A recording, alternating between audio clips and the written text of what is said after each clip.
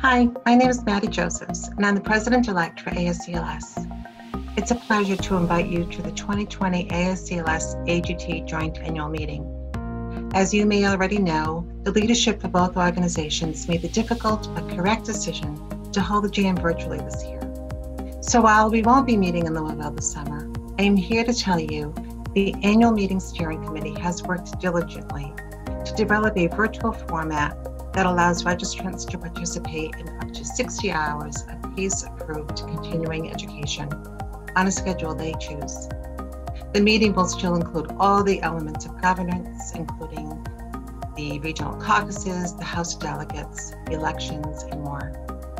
Perhaps the most difficult aspect of holding our meeting virtually is the fact that we won't see each other in person but opportunities for networking and engagement will still be available. And I can assure you that the annual meeting steering committee and the ASCLS staff has some wonderful ideas in store for us.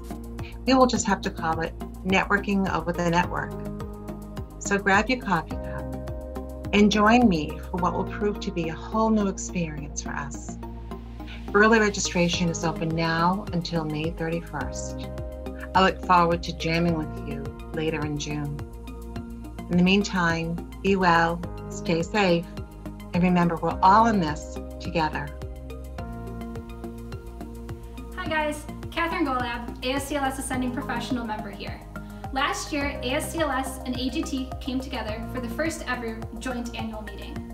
And now that social distancing is in place, we have committed to making sure that you guys get the same opportunity for great continuing education.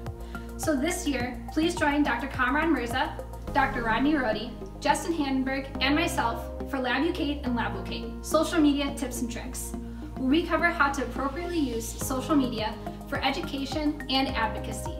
So please, join us Monday, June 29th at 1.30 p.m. Eastern. See you there!